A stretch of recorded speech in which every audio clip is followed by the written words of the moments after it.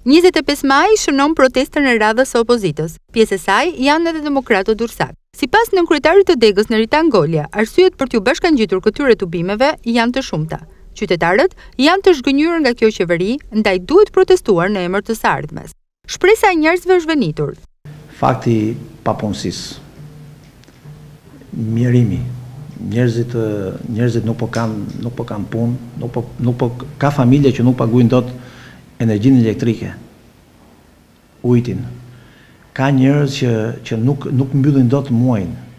Dhe kjo situatë në të vërtetë që çdo familje është vetë manaxheri i familjes së tij, por mbi të gjitha pra edhe kujdeset edhe edhe vetë qyteti, vetë bashkia, vetë edhe qeverisja vetë, këta njerëz me çfarë do jetojnë, këta njerëz ku ku do përplasen, ku do hajnë, ku do ku do kanë fëmijët do t'i çojnë në shkollë, atëherë si do t'i bëjnë? Nuk ka qenë kurrë kjo situatë në njëzet e nëntë vite Nuk ka nuk ka pa ndonjëherë Durrësi dhe Shqipëria situatë të tillë. Mjerim. Kudo që të dalësh, cilindo që të takosh, flet për situata dramatike, flet për një familje, këtu këtu dhe familja nuk po rritet e shëndetshme. Fëmijët nuk po nuk po nuk po dinë se çfarë po bëjnë. Këtu s'kemi, këtu është një, është më e madhe se sa vetë gjëja që, që po, po shohim ne çdo ditë. Këtu po të shikosh, të shkosh nëpër spitale, këtu nuk din çfarë shef e çfarë bën. Të shkosh shef arsimin, arsimi po degradohet çdo ditë më shumë. Atëherë gjithë këta njerëz që po mendojnë për se për veten nuk po mendojmë dot më, po të paktën mendojmë për fëmijët. Fëmijët do rriten në këtë vend. Po si do rriten, me çfarë kushtesh? Çfarë do bëjnë fëmijët tanë këtu? Atëherë kush është ideja, çfarë duhet të bëjmë? Duhet të marrim, përgatisim veten të largohemi nga ky vend? Atëherë, unë them që zgjidhja e jonë është t'i bashkohemi masivisht protestës në Tiranë. Dhe jemi shumë mirënjohës qytetarëve durrsakë, që na mbështesin dhe na besojnë. Jemi vendosur dhe e kemi marrë këtë detyrë për një gjë të vërtetë dhe të vetme, dhe kjo gjë është për të ardhmen e fëmijëve tanë. Në qoftë se ne, cilido nga ne që është këtu, qoftë dhe unë personalisht por edhe kolegët e mi, nuk mendojmë më parë për të ardhmen e fëmijëve tanë, që është familja jonë e vogël dhe kjo është familja jonë e madhe, atëherë kot që diskutojmë këtë çështje, kot që hyjmë kësaj rruge, Kjo është një rrugë që don punë, përkushtim, korrektësi. Dhe korrektësia është me këta qytetarë që ne sot i kemi në krah. Dhe nesër mos t'i zhgënjejmë. Mos t'i zhgënjejmë, sikurse ky kryeministër që është sot, në këto gjashtë vite, përveç se na ka zhgënjyer, sepse edhe ne jemi pjesë e popullit, jemi Partisë Demokratike, jemi anëtarë Partisë Demokratike, por nuk do të thotë që kryeministri ka ardhur, Nga jashtë, është kryeministri që erdhi nga shqiptarët. Dhe normalisht ky kryeministër na ka zhgënjur totalisht. Të përmendim një gjë të vetme, një gjë të vetme që ky e ka bërë ashtu siç duhet për këtë vend dhe unë do të them po ka të drejtë. Por mos flasim pastaj për qytetin tonë. Katraura që është bo në qytetin tonë, që s'dimë, jemi një nga vendet më të bukura që na ka fal Zoti, edhe kur vjen fundi, nga ana, nga ana e natyrës flasim. Kur vjen fundi nga ana e njeriut, jemi më të penalizuarit. Kështu që kjo është, kjo lë shumë për dëshiru. Të gjithë këta njerëz kanë një revoltë të brendshme, dikush e shpreh, sepse ka dhe diçka shumë e çuditshme, që ne durrsakët, Kemi diçka që nuk e shprehim. Revoltën e mbajmë. Por revolta e durrsakëve është në ditën e zgjedhjeve. Edhe kanë revoltë shumë të madhe. Sikurse e kanë treguar revoltën dhe në mendimin e tyre për Partinë Demokratike dhe kur ne kemi bërë gabimet tona, pa diskutim, por kështu dhe do ta shprehin dhe kur t'i vi momenti për votë për Edi Ramën. Kështu që unë mendoj që ne kemi një suport jashtëzakonisht të madh nga qytetarët e Durrësit. Shpresa e njerëzve në këtë qeveri ka marrë fund. Njerëzit çohen në mëngjes, shohin vetëm kronika të zeza, mjerim, fukarallik, s'po dinë çfarë të bëjnë më. Po marrin rrugën në Evropë, kthehen prap në Shqipëri, prap nuk po dinë çfarë të bëjnë. Detyrimisht e vetmja shpresë është largimi i kësaj qeverie. Sipas të dhënave të selisë blu në qytetin bregdetar, pjesëmarrja do të jetë masive, pasi edhe zemërimi është i madh, të gjithë kanë një revoltë të brendshme. Me të dhënat që kemi, kontaktet që kemi me qytetarët, por jo vetëm dhe me strukturat e Partisë Demokratike dega Durrës, parashikojmë, Një tubim shumë masiv. Jemi afro katër mijë e pesëqind persona qytetarë që i bashkohen tubimit madhështor të datës njëzet e pesë, ditën e shtunë ora shtatë mbasdite. Ky tubim vjen Për një efekt, qytetarët janë tepër të mërzitur, tepër të lodhur, tepër të shqetësuar nga kjo situatë që kjo qeverisje po i ngarkon Durrësit dhe mbarë Shqipërisë dita ditës.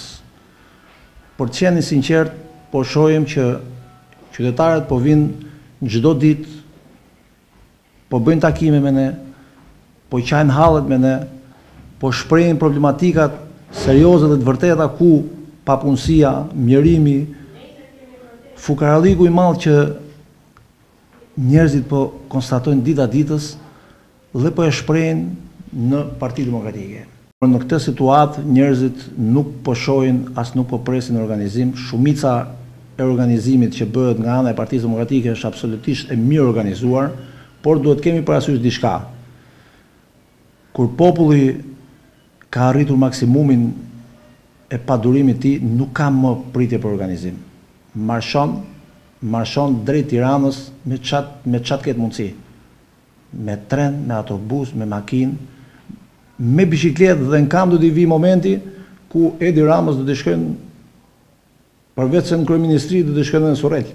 Zoti Golja deklaron se nuk kanë munguar edhe denoncimet apo presionet ndaj qytetarëve për t'u tërhequr nga pjesëmarrja në protestat e opozitës. Kemi pasur raste të tilla, kemi pasur raste të tilla në zonën e Spitallës, ku janë të evidentuar dhe ata që janë punonjës policie banorë të asaj zone të caktuar, kanë bërë realisht presione në banorë dhe më më nuk janë as aktivistë të Partisë Demokratike, janë banorë, banorë me mirë kuptimin e fjalës banor, ku kanë shku, i kanë mbajtur I kanë mbajtur njëzet e katër orë, i kanë i kanë lënë të lirë prapë. Kemi shku, kemi shku ne si si si staf këtu Partisë Demokratike në Drejtorinë e Policisë Qarkut Durrës, kemi kontaktuar me persona përkatës policisë, në mirëkuptimin e plotë diskutimit, i kanë mbajtur pak kohë dhe i kanë lënë të lirë, por që kanë dhënë shenjat e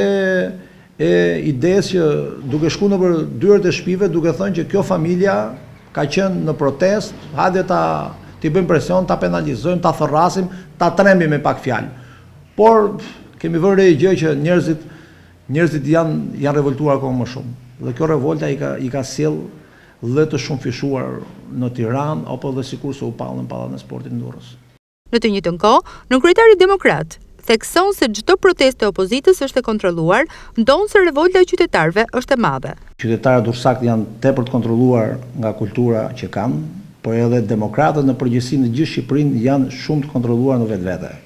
Kështu që nuk parashikojmë asgjë tjetër. Protesta do të jetë si si herë të tjera, mendoj, pavarësisht se këto janë kompetenca të qendrës, ne do jemi aty në krah të qytetarëve.